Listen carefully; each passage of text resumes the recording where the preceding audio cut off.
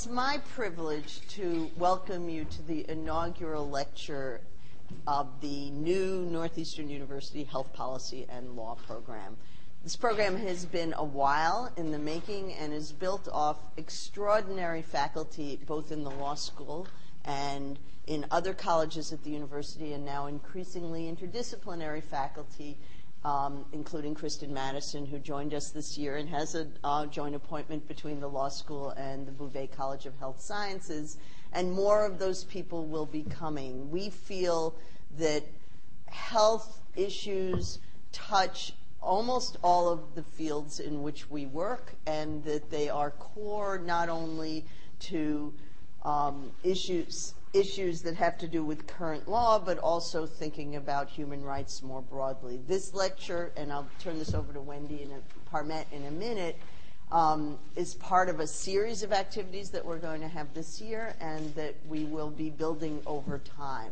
So I hope that you'll all follow what we do in this area, and I think that um, the exciting faculty that we have here, led by Wendy Parmet, are, will really be turning this into a tremendous place of thinking around how to address health issues in the coming years. So, Wendy. Thank you, and welcome to our inaugural lecture. And before I forget, there will be a reception um, immediately afterwards, so don't completely fill up on pizza because there's more food to come. Um, when I think about the potential speakers we could have had today. I, I can't imagine a speaker who I am just more thrilled and honored to have and is more and who would be more appropriate as our inaugural speaker than Professor Sylvia Law. She's the Elizabeth K. Dollard Professor of Law, Medicine, and Psychiatry at New York University School of Law. She's been a visiting professor of law at numerous law schools, including Harvard, Stanford, the University of Hawaii, and many others. I won't name them all. She's the recipient of numerous awards and accolades, including um, the prestigious MacArthur Genius Fellowship. She's published many books and articles on health law, reproductive rights, women's rights, constitutional law, tort law, other subjects for me, I'm going to go through the CV, you can see it all. There are two aspects of her career that really stand out and I think make her the perfect speaker for today.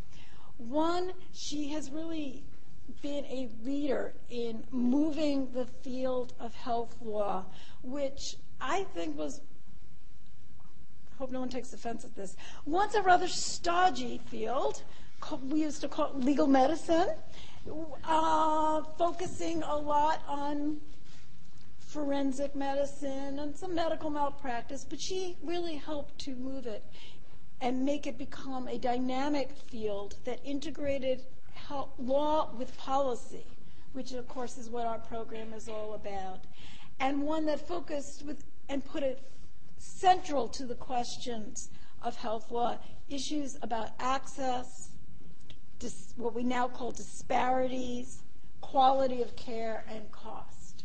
And she really helped to turn the tide so that these questions, which are so central to what we think of as important today, were the central, central core and mission of health law. And second, while being a leading careful, brilliant, innovative scholar, she has also always been an activist. And an, so her scholarship has always been engaged. She was counsel in some of the most important reproductive rights cases that have been before the New York, uh, the U.S. Supreme Court, including Harris versus McRae, and has written amicus briefs, very important and influential amicus briefs in many other reproductive rights and health law cases including Planned Parenthood versus Casey, Glucksberg, and I can go on. In short, um, she's achieved in her career, I think, um, what our program hopes to, what, what we aspire to try to achieve. Um, interdisciplinary, engaged scho- scholarship in the name all aimed at improving public health and access and quality. So I'm just absolutely thrilled that she will be speaking to us on taxpayer conscious conscience and health reform. She'll be taking questions after her talk. Thank you.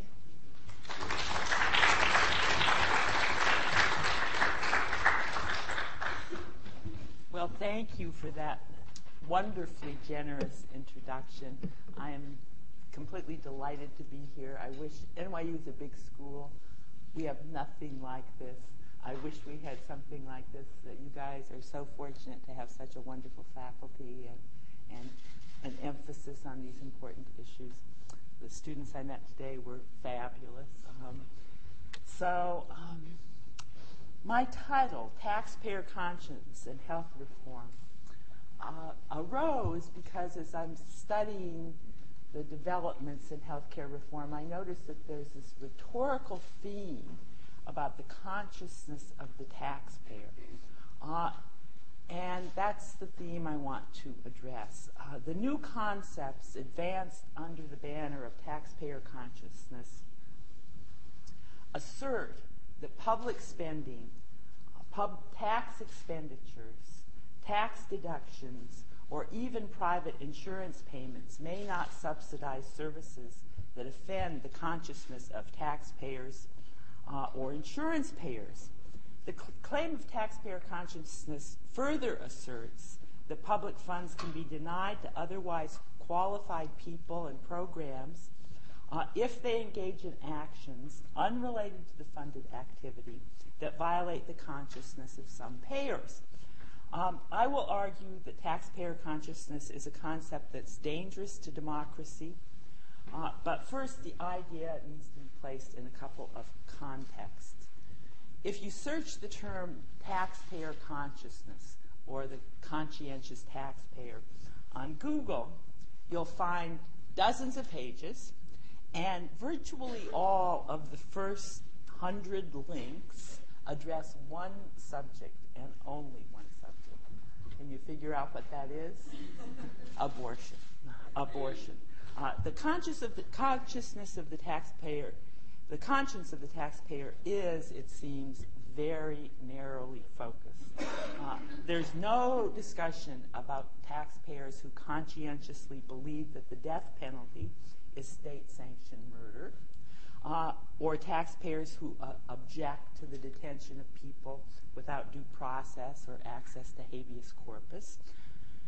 The newly popular concept of taxpayer conscientious objection to abortion takes place against a 40 year background of systematically excluding from otherwise comprehensive federal health programs uh, one service, and that's abortion. When the Supreme Court transformed abortion from a crime to a right in Roe v. Wade in 1973, state Medicaid programs and private insurance programs covered abortion. Abortion is a medically necessary procedure. Uh, it's a surgical procedure. It's performed by physicians.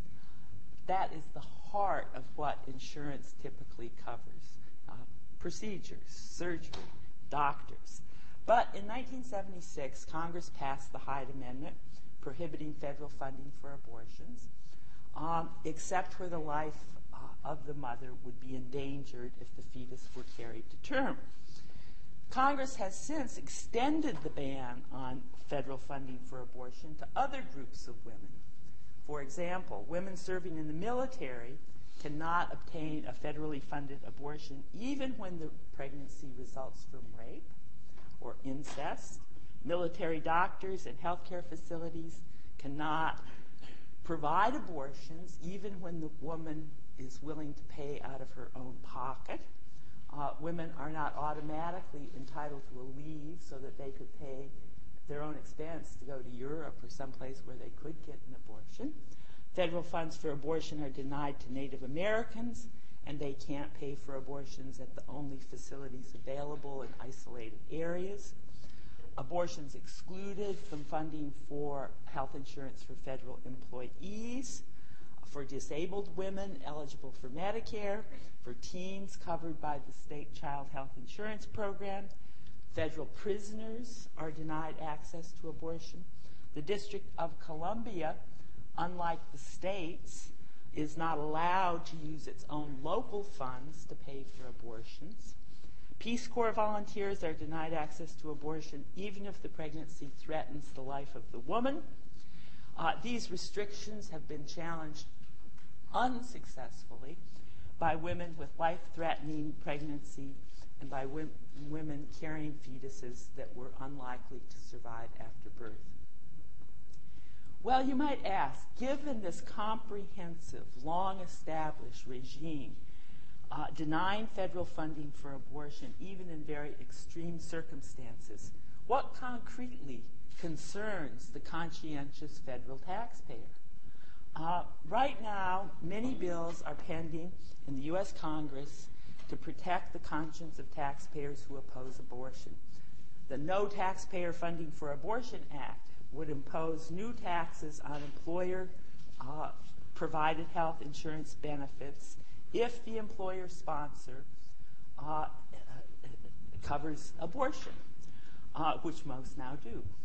The Taxpayer Conscience Protection Act would force states at state expense to post detailed data on every abortion funded at state expense on a publicly accessible internet site.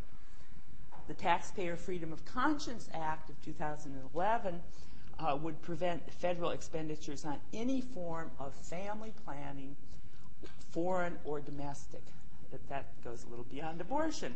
Uh, all of these bills have passed the House uh, by very wide margins and are in committee in the Senate.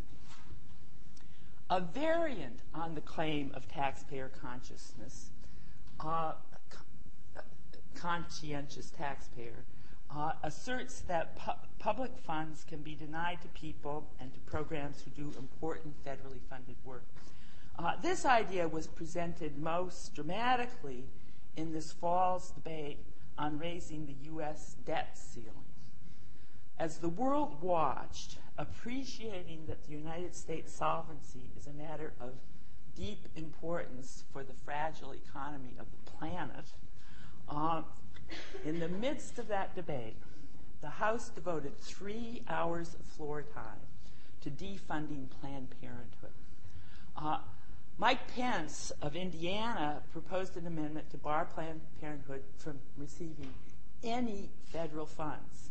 Uh, in communities around the nation, Planned Parenthood is a primary source of care for contraception, prevention of sexually transmitted disease, cancer screening, uh, and often the only source of primary health care available to low income men and women. Um, Planned Parenthood has long lived with vigorously enforced federal rules pertaining, uh, prohibiting federal funding for abortion or abortion referrals. Um, but Planned Parenthood depends on federal funding uh, for the basic health care services that it provides. Pence asserted, quote, it's morally wrong to take taxpayer dollars, millions of pro life Americans, and use them to subsidize the largest abortion provider in America. Thanks to the leadership of the Speaker of the House, John Boehner, the American people will be able to see who stands with the taxpayers and who stands with big abortion. Um, Jon Kyl, Republican of Arizona, asserted that abortion is over 90% of what Planned Parenthood does. Now, in fact, abortions account for less than 3% of the services provided by Planned Parenthood, and none are funded with federal money. So far, those proposals have been rejected in the Senate. However, this year, six states have prohibited state fundings for primary health care services to organizations that also do privately funded abortions. The theme of taxpayer conscience was not central in the debate on the historic uh, Patient Protection and Affordable Care Act of uh, 2010. Uh, for decades, uh, health care reform was a very high priority of the late Senator Edward Kennedy. The Affordable Care Act could, I think, more accurately be described as Kennedy Care. uh, than as Obamacare. Uh, Ted Kennedy and his awesome staff uh, led a process that included diverse healthcare providers, insurers, employers, labor unions, states, and advocates for many years leading up to the adoption of the Affordable Care Act. Um, the senator was instrumental in getting the federal waivers that allowed Massachusetts to launch its reform that served as the model for the Affordable Care Act. Uh, Kennedy, Kennedy Group and the Obama administration went into the conversation about health care reform assuming that it should not be the vehicle for either expanding or contracting abortion rights or abortion funding. Uh, for the most part, the pro choice community agreed with that determination. Um, I disagreed, uh, arguing that the massive denial of essential medical services to women who depend on federal funding uh, is wrong. And if we're going to have health care for all, it should include women. Uh, most, it should include the most common surgical procedure in the United States. And it's a, procedure that is extremely time sensitive and at the end of the day saves money and saves lives. We couldn't just ignore it. But I dissented mildly. Um, and I'm not politically influential. Um, and healthcare insurance for all is a really important thing. And the pro choice uh, community, in all honesty, has not built the political movement to challenge the federal restrictions on abortion funding. The anti abortion forces were not willing to sign on to the proposition that healthcare reform should not be a vehicle for debating abortion. Many, many, many of those people are opposed to universal health care for reasons having nothing to do with abortion. Um, in general, pro choice people care about a whole range of issues, while anti choice people tend to be uh, more focused on particular hot button issues, particularly abortion. In November 2009, the bishops and the Republicans rejected the assumption that healthcare reform should not be a vehicle for contracting access to abortion. Bart Stupak, Democrat of Missouri, uh, proposed that no low income person receiving a federal subsidy should be allowed to uh, enroll in a plan that covered abortion. The Senate and the President defended their promise that, that if you like the insurance you have, you'll be able to keep it under health care reform. But at the end of the day, the Senate needed the support of the Blue Dog Democrats. Bill Nelson of um, Democrat of Nevada and Harry Reid uh, negotiated a Senate compromise that is the law today. Uh, basically, what it says is that private insurers that cover abortion may not participate in the healthcare exchanges created under the Act unless they set up a separate plan to provide insurance coverage for abortion. Premiums must be collected in a separate check uh, and deposited into a second, a separate account. As a practical matter, as a practical matter, no insurer is going to offer that plan. No one's going to buy that plan. Um, well, there was a lot of debate in the pro-choice community uh, between Stupak bad, Nelson okay. Um, I don't think there's a dime of difference between the two. Uh, they're all they're both the same. The idea that the conscience of the individual taxpayer uh, trumps the conscience of other taxpayers and publicly regarding concerns such as public health and budgets is a radical concept. It's inconsistent with American history and tradition. But before arguing that tax, the, appeal to taxpayer conscience is wrong and dangerous, I want to place the, the role of conscience uh, in two larger contexts. The first context is about reproductive health care generally and the second is that of conscience.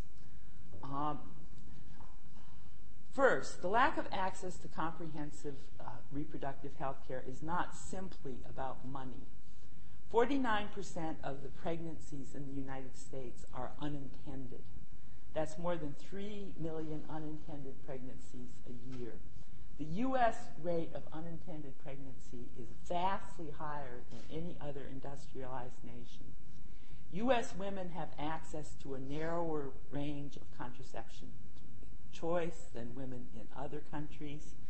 Other countries do a much better job than we do at sex education, at integrating sexuality and contraception into primary medicine, and at providing primary care that includes reproductive health services. In 1970, because so many women lacked health insurance and or a regular source of medical care, Congress created Title X uh, family planning program.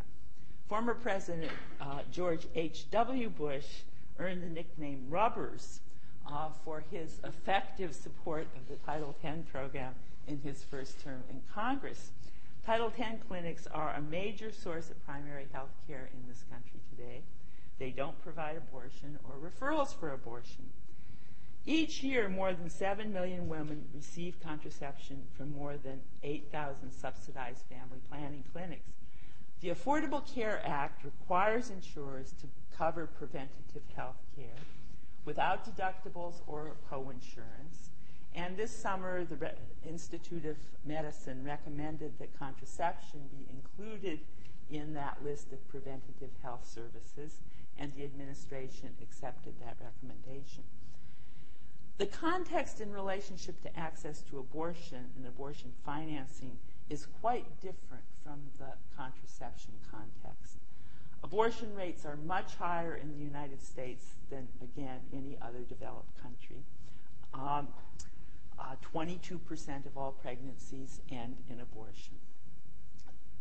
The U.S. rates of abortion remain very high, even though women confront many obstacles in obtaining access to abortion, uh, not just the lack of funding. Uh, 97% of counties outside of metropolitan areas uh, have no doctor willing to perform an abortion. 97%. That's a lot of counties. 82% uh, of the, um, most abortions, 95% uh, are performed in specialized clinics. 82% of those clinics experience harassment, most often in the form of picketing but 15% get bomb threats in the last year. Um, in most states, abortion providers must comply with a wide range of restrictive laws that have been adopted to discourage abortion. In the past eight months, states have adopted 61 new laws to restrict access to abortion, including mandatory ultrasounds, parental consent for incest victims, uh, counseling for from anti-abortion crisis counselors that are no way medically qualified. Uh, my, one of my favorites is huge closets for janitorial supplies if you want to operate an abortion clinic. Uh, the midterm elections of 2010 increased the number of anti-choice legislators and governors and the Supreme Court in 2007 shrunk the already weak constitutional protection of abortion choice. Just last week, uh, the House passed an amendment to the Emergency Medical Treatment and Active Labor Act, which normally requires hospitals that receive Medicare funds to provide emergency treatment. Uh, Last week's amendment allows hospitals to refuse an emergency abortion even if the woman is septic and hemorrhaging and her life is at stake. Uh, safe legal abortion is inaccessible for many women. In New York City, where we have state funded Medicaid coverage, uh, there's no parental notification, there are more abortion providers than any other area of the country women still seek illegal abortions because they don't know that legal services are available. The medical director of a clinic in northern Manhattan reports that she sees at least one patient every week who's tried to end a pregnancy on her own, often with tragic results. Denying funding discourages abortion. About a quarter of the women denied Medicaid coverage for abortion carry the pregnancy to term. Uh, the U.S. has high, very high rates of infant mortality and morbidity. It seems likely that denying abortion to women who believe that they are not able to bring a child into the world contributes to that. Uh, women who are pregnant against their will have a more difficult pregnancy than women who want to be pregnant. Um, most poor women denied insurance for abortion raise the money to pay for it, uh, often by foregoing essential food and shelter for themselves and their children. They have later abortions because they have to raise the money uh, that pose greater risk to their health and cost more. Uh, that, in brief, is a reproductive health I also want to put the new arguments about taxpayer conscience into a second con- context, and that's the context of conscientious belief. The recent laws invoke the conscience uh, of the taxpayer. Uh, decisions about reproduction also involve conscientious choices for women and for healthcare professionals. When the conscience of a woman, professionals, and taxpayers conflict, whose conscience should control? Uh, the conscientious beliefs of women are completely missing in the contemporary debate.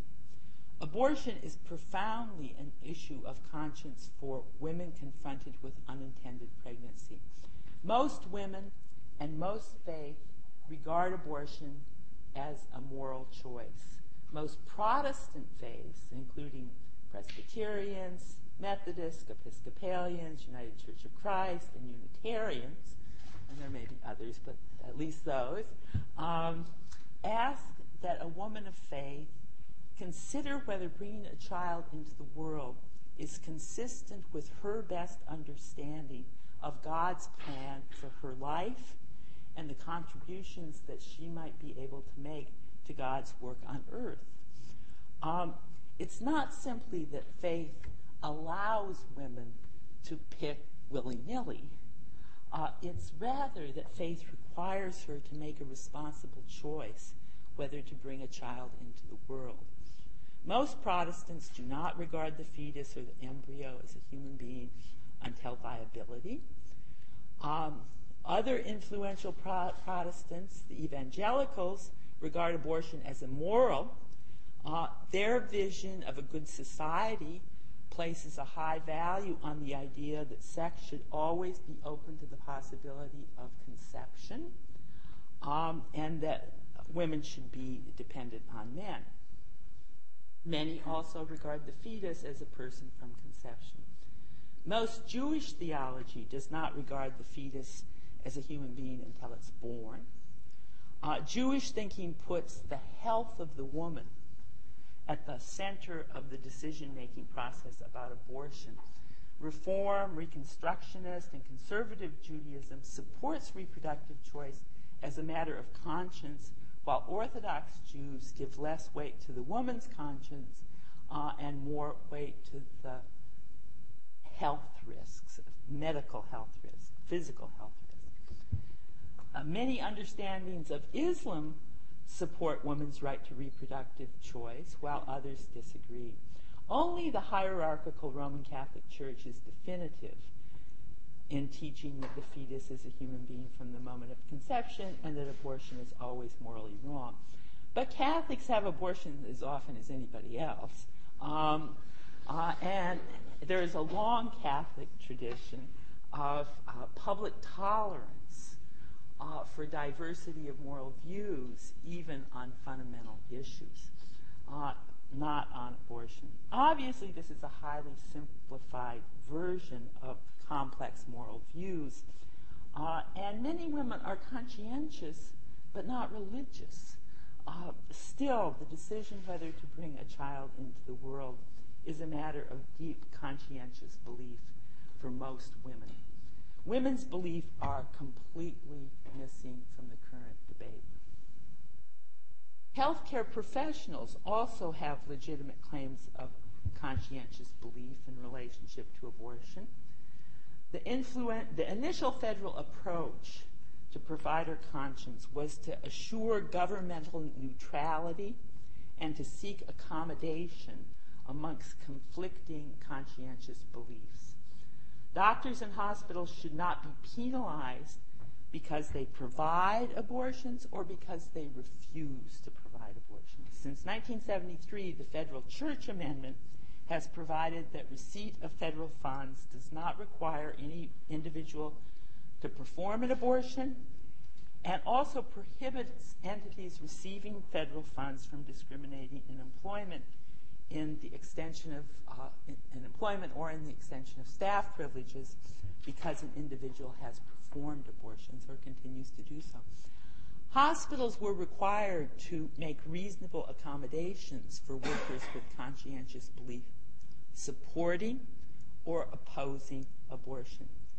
Similarly, the Civil Rights Restoration Act of 1988 mandated neutrality with respect to abortion conscience, and the federal law mandated government neutrality with respect to matter of conscience and required accommodation of conflicting views. In recent decades, state laws protecting the conscience of healthcare providers have proliferated. They protect not simply healthcare professionals and providers, but also insurance companies, managed care organizations, corporations, pharmacists.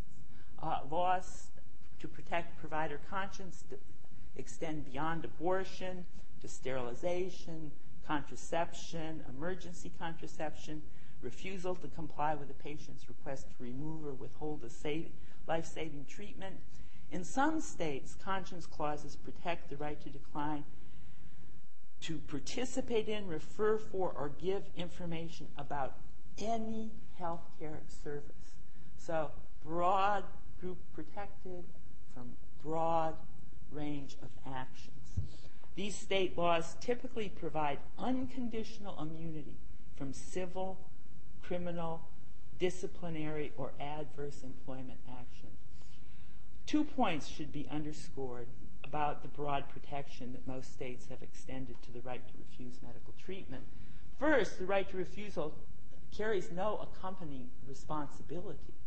Uh, principles of medical ethics, professional standards of care, enforced through tort liability in the event of injury, require that when a medical professional is unable or unwilling to provide a medical service that a patient needs and seeks, the professional has to provide an informed referral, specifically in relationship to abortion. Uh, American College of Obstetrics and Gynecology says where conscience implores a physician to deviate from standard practice, including abortion, sterilization, and preventive contraception, they must provide potential patients with accurate prior notice of their personal commitments Physicians have the duty to refer patients in a timely manner to other providers uh, if they don't feel that they can, in conscience, provide the standard reproductive services. In resource poor areas, access to safe and legal reproductive services should be maintained. The state refusal clauses are flat in the face of the ethical principles of the AMA, ACOG, and professional standards of care.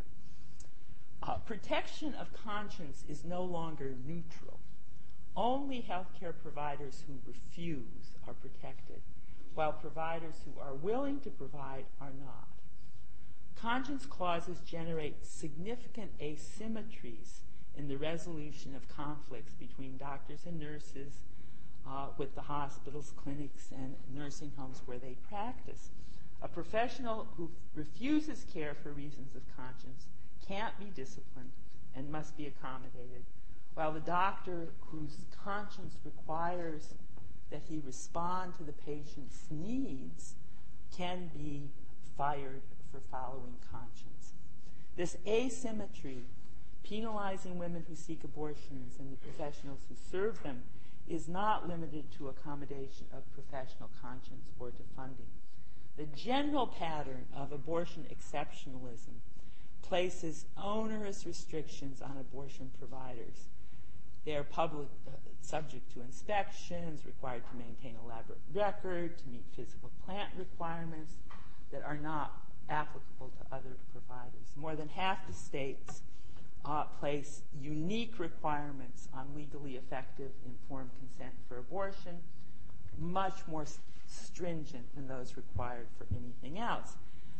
Uh, most of the regulation of the medical profession is enforced by professional sanctions, such as disciplinary action by a licensing body or tort liability. Abortion regulations, by contrast, are backed by the threat of criminal penalties, including prison sentences for violation. The legitimacy of the claim of taxpayer consciousness must be considered in these contexts. These claims are narrowly focused on a particular subject, abortion. They're designed to protect only the conscience of one contested point of view. The conscientious taxpayer who opposes abortion is in conflict with the conscience of many women, uh, many medical professionals, and indeed many taxpayers. As a matter of democratic politics and public policy, we should be deeply skeptical of the claim of taxpayer conscience. Nobody likes to pay taxes.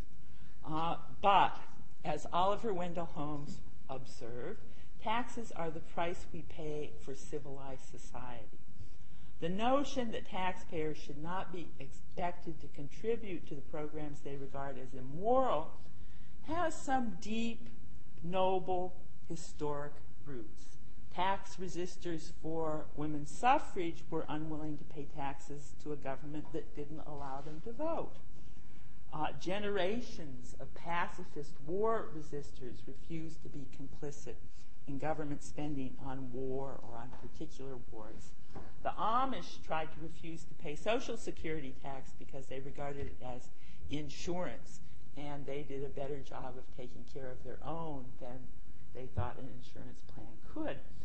Uh, Gandhi used tax resistance as a tool to bring down the British coloni- colonialism, and da- David Henry Thoreau went to jail to protest the Mexican American War and slavery. But all of these historic examples are quite different. First, all of these taxpayers, uh, objectors, appreciate that they had to explain the publicly regarding reasons behind their objection that just individual conscientious objection is not its own justification. Secondly, these taxpayers, um, well, some of these taxpayers, like Thoreau, were willing to go to jail. Uh, third, taxpayers with conscientious objections to tax and taxation, taxes or compulsory military service typically seek a personal exemption uh, rather than to modify the public policy to which they object. Claims of taxpayer consciousness, con- conscience imply that the beliefs of others who disagree are not conscientious, are not moral. Such claims are politically divisive. The language of taxpayer conscience elevates ordinary politics into a politic of individual rights and does so inappropriately. Courts have uniformly rejected taxpayer claims that the First Amendment or any other form of uh, conscience protects the right to refuse to pay taxes. As a general matter, federal taxpayers can't challenge the constitutionality of federal funding programs. In 1923, a unanimous Supreme Court rejected a claim of a taxpayer who sought to challenge the federal government's authority to uh, make grants to reduce infant mortality. Uh, the plaintiff had suffered no injury that could uh, enable her to sue, the court said. The interest of the federal taxpayer is, according to the court, shared with millions of others, is comparatively minute and indeterminate, and the effect upon future taxation of any payment out of funds is too remote and fluctuating and uncertain. It's not clear that the taxpayer standing principles illuminate the legitimacy of federal legislation that relies on taxpayer conscience. Nonetheless, I think that the taxpayer standing cases affirm Holmes' insight that the injury we suffer as taxpayers, forced to contribute to public policies with which we disagree, does not count for much. Having failed in their effort to persuade Congress to deny federal funds to Planned Parenthood in 2011, the anti abortion folks persuaded six states to defund Planned Parenthood. Uh, these state laws have now been enjoined by the lower federal courts in three states Indiana, Kansas, and North Carolina.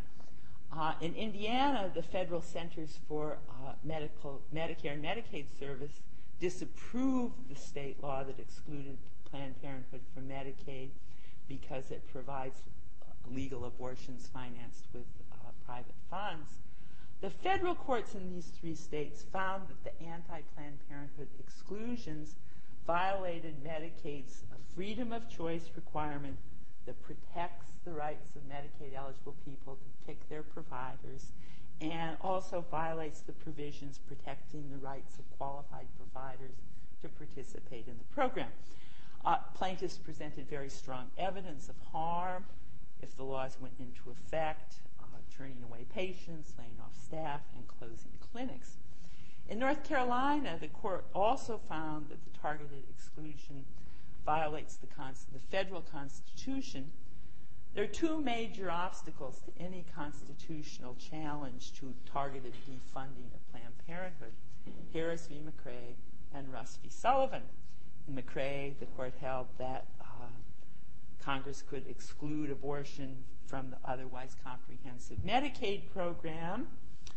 Um, uh, and the plaintiffs argued that that exclusion, treating abortion dramatically differently, uh, violated equal protection, the court rejected the claim, and the McRae ruling uh, has held and has been extended to all forms of federal funding for abortion.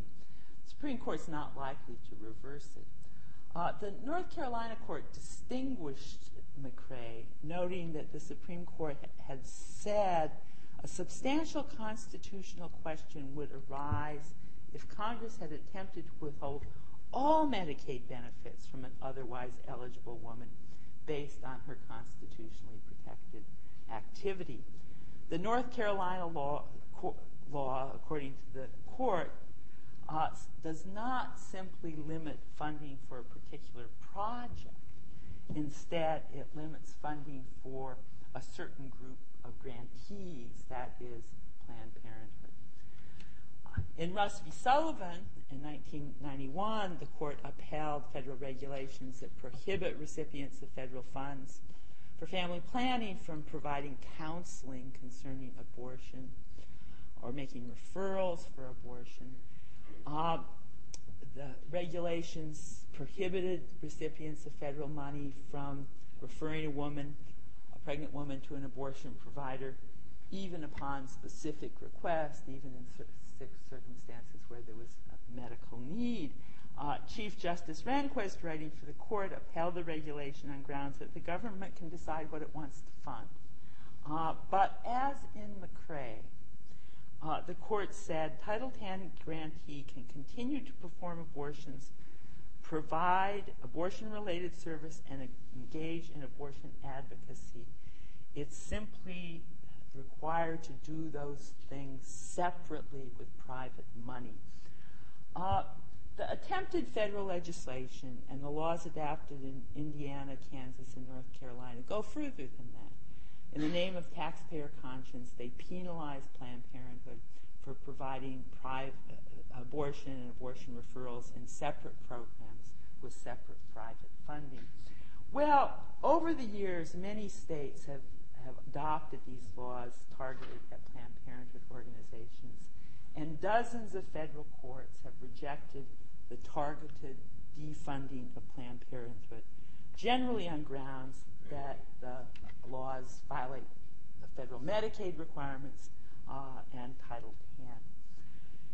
In conclusion, for now, the federal courts have rejected state efforts to deny Medicaid and fa- family planning funds to Planned Parenthood. Um, still, it's difficult to be optimistic about the long term success in the federal courts in these cases. In recent years, the Supreme Court has sharply restricted the situations in which patients and healthcare providers can challenge restrictions in federal healthcare programs. Uh, the court is now considering a case that would continue that trend and make it more difficult for people to uh, enforce the com- promises the Congress makes in adopting the Medicaid program. Uh, the lower court's decisions hearing these claims in the Planned Parenthood uh, cases and granting preliminary relief are part of a long tradition of judicial involvement in enforcing the promises of the federal health care financing law. But that tradition is eroding. Ah, substantive constitutional protection for reproductive choice is even more fragile than the right to go to court and enforce the requirements of the federal Medicaid program. Uh, if state and federal legislatures continue to adopt laws that disparage the physical, moral, and economic needs of women, I think the courts are unlikely to stop them. Still, I want to end on a more positive note.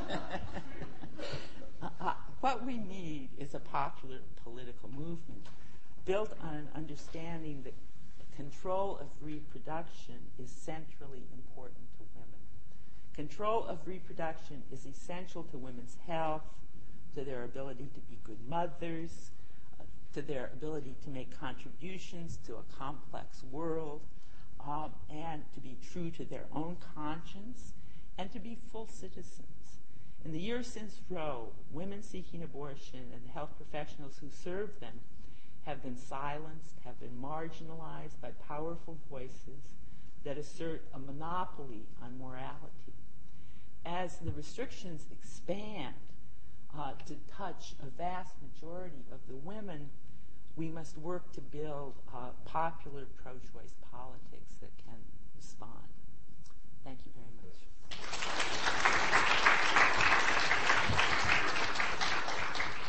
Thank you so much. Uh, Professor Law is going to take some questions now, Uh, but before, I just want to Thank you. on behalf Oh, of thank you. Thank Wonderful. you so much. Uh-huh. Going to do it now before we break and people up afterwards. So thank you. Questions?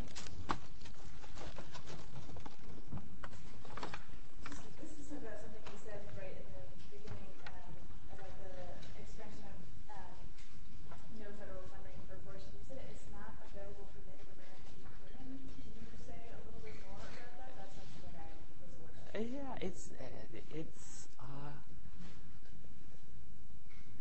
no funding for abortion, even if the woman is willing to pay, even if the doctor is willing to provide. There's no funding for abortion. So does that mean if she were to leave the reservation or she doesn't live on the reservation? Yeah, yeah, yeah. It means that yeah, it- of course she can leave, she can leave the reservation, just like the soldier in Afghanistan can go AWOL and fly to Germany.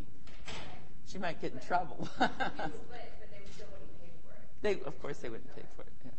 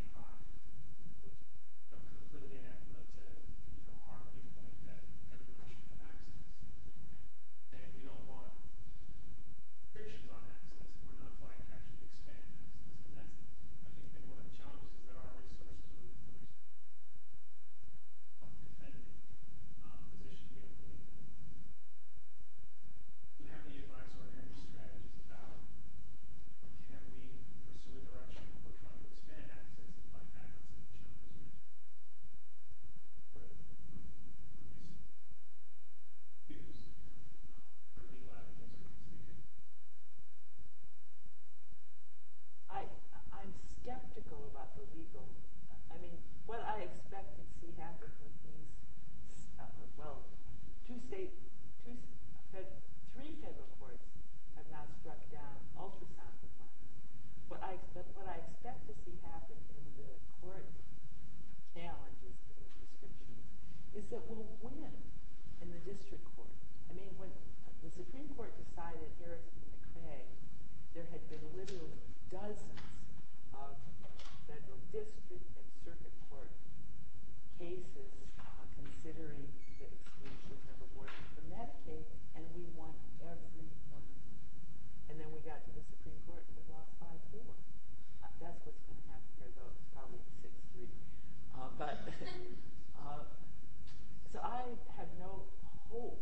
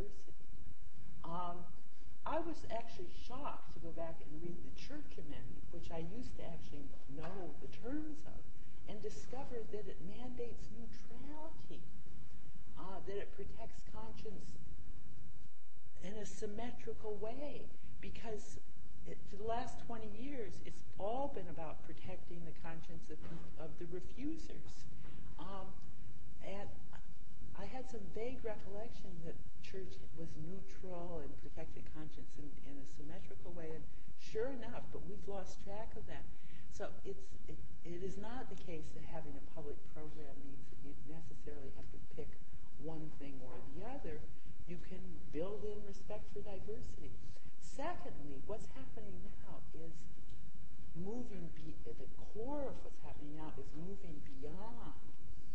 Uh, we can refuse to spend taxpayers' dollars on things we don't like. To we're going to prevent you from spending your own dollars on things you don't like. You know, that excluding insurance companies from the exchanges, taxing, uh, denying tax exempt status to employer contributions to insurance plans that include abortion. That's not libertarian. That's taking away the right of the employer to decide what they want in their insurance policy.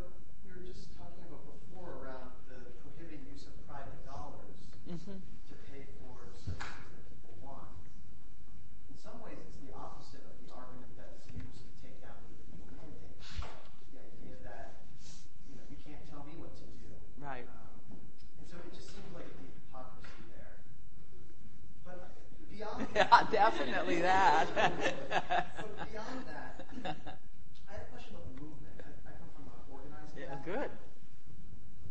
There was a movement in this country for reproductive rights. There was.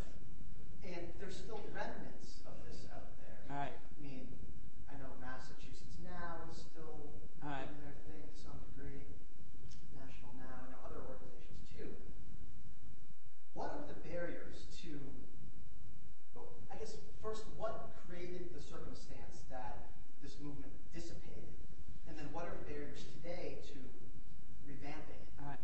Well, I, think um, this is based on my experience working with local groups in the Hudson Valley uh, around, you know, so many hospitals are merging with Catholic hospitals that insist that they follow the Catholic directives on end-of-life choice and abortion, et cetera. Um, so I worked with the group uh, to try to, what we, we actually were quite successful in getting an arrangement where the hospitals merged, but the reproductive health services were preserved. Um, but in that political struggle, I was always struck by the fact that all the folks who would come out to the meetings and the picket lines and to get the churches signed up on our side, et cetera, were like in their 70s. Uh, they were like old. and obviously, reproductive health was not on the top of their agenda, but um, they were leftover from the bad old days. They remembered when abortions were illegal, and they just had, and men too, um, men and women who remembered the bad old days and had a passion for the issue. So in the since Roe, so our core problem is that we won in Roe v. Wade, and uh, I think uh, I, I think the thing that's new about this moment is that we're going much more after the educated middle class. That over the last 30 years, the people who have been denied all the restrictions on 48 hour waiting period, informed consent, et cetera, and so forth, not going to affect us. Any of us can jump through those hoops if we need an abortion. It affects people who are young and poor and live in rural areas and uh, are less educated and uh, have a family situation where it's hard for them to get away. And insofar as the anti-choice people have been able to put restrictions that are targeted at the vulnerable, then the elite people, the educated people, the people with resources, the people with voices, the people with political clout, say there's not a big problem. If I need an abortion, you just so you have to jump through a few hoops, but it's not. It's not like it was pre Roe v. Wade, though for lots of women it is exactly what it was pre Roe v. Wade. Pre Roe v. Wade, I had a long list of uh, illegal abortionists. Any woman I, who knew me was not going to have a pregnancy she didn't want to have because I'd sent her to an illegal abortionist, and so it costs more, and it's a little hassle, and it's illegal. But, ed- lots of things are illegal. But educated, uh, educated, informed women with money and connections have always gotten access to abortion, and that's kind of we're moving back to that. But I'm hoping that as things, I'm not usually one of those people that says, "Oh, we have to let things get really, really bad so that people will rise up and change." But I think in this situation, that's our only source of hope. Is that as it touches more and more people, people will say, "No, this is not right," and and uh, and mobilize. How much more is the, I'm, I'm thinking back over certain periods of my own life, and I'm wondering, it feels to me as if the Catholic Church has really, the organ, the Vatican, has kind of asserted more, um, more and more and more its role in this. And, and my personal experience was largely in West Virginia, where um, West, the West Virginia courts all along supported Medicaid funding for abortion. They, they, like New York and Massachusetts were outliers and, and state no death penalty. And the, there was a national, well, statewide coalition on reproductive rights that actually still exists. But the, um, this, the, the statewide nonprofit that's working on healthcare access, on which I still sit on the board, has a representative from West Virginia Free, which is the Reproductive Rights Coalition, but a representative from the Catholic Church. And the members of the board have this tendency to not want to alienate the representative of the Catholic Church. And that would never have happened 15 years ago or 20 years ago in West Virginia. And I don't, and I'm wondering how organized this is, how much this is directed from the top, what, and to what extent your perception is that the role of the Catholic Church in this and the money that they have is having a fundamental impact on the capacity to organize. Well, certainly the Vatican has gotten ever more aggressive about end of life choice, about uh, in, you know insisting that the uh, ethical directives stick to an institution in perpetuity after the institution has been sold.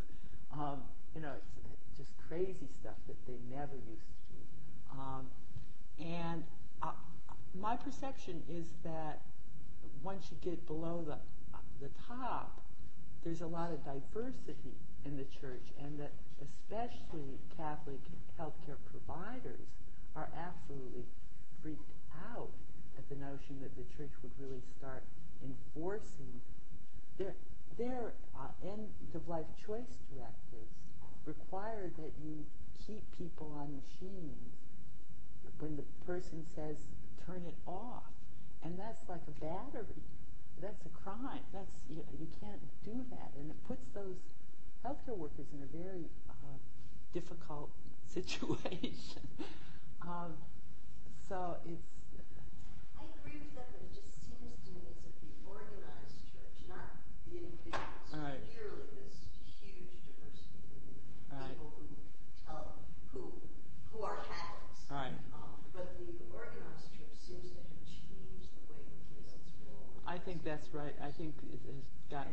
more aggressive, certainly at the Vatican level, certainly at the bishop's level, and, and then it varies how far down it comes. Yeah.